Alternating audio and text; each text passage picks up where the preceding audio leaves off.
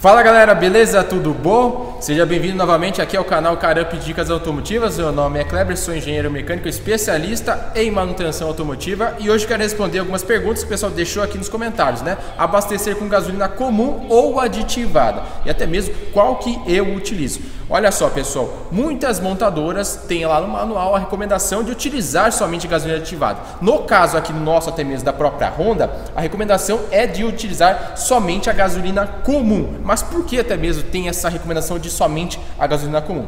Que eu tenho que explicar para vocês que é o seguinte: a ANP, Agência Nacional do Petróleo, aqui do Brasil, tem lá a regulamentação específica somente para a gasolina comum. Já no caso da gasolina aditivada, já vai de cada bandeira realizar exatamente a proporção de aditivos para o combustível qual vai ser vendido no posto. Portanto, essa aditivação nada mais é, digamos, do que um segredo industrial, ou seja, assim como cada fábrica tem ali o seu segredo, os seus componentes, a sua receita, exatamente isso que a ANP não pode, digamos, regulamentar para ter uma quantidade exata de aditivos.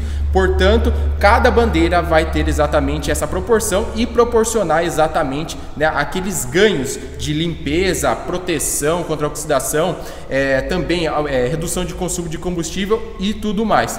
Particularmente, eu gosto sempre aqui então de abastecer o nosso carro com uma gasolina comum e utilizar os aditivos que a gente até mesmo sempre mostra aqui no canal, aditivos que a gente sabe a proporção e tem exatamente uma função específica para o nosso carro e até mesmo por uma manutenção preventiva, beleza pessoal? Se você tem qualquer tipo de dúvida, deixa aqui nos comentários, é claro também a sua pergunta pode virar vídeo aqui para o canal e a gente vai responder você também. Se não é inscrito, se inscreve no canal e ativa as notificações e é claro, segue a gente lá no Instagram para ter mais dicas e também os bastidores do canal. Um grande abraço e até mais.